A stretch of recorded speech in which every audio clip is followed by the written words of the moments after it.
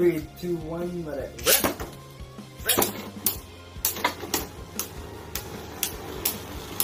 Time to change face! Oh! Yo!